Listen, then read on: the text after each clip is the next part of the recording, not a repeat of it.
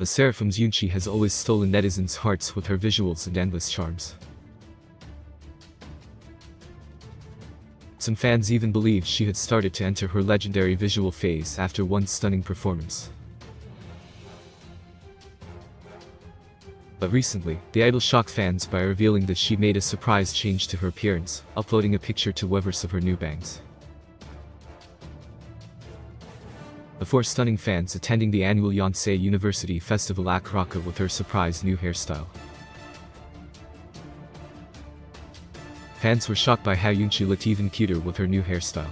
Especially close-up, Eunchae's visuals don't disappoint.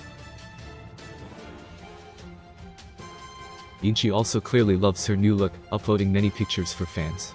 But, given that fans got to see LE SSERAFIM perform live and only Eunchae's hairstyle had changed, they are curious if the other members will also be changing their hair for their upcoming comeback Anti-Fragile. But regardless, Eunchae looks amazing, and fans are definitely excited for the upcoming comeback.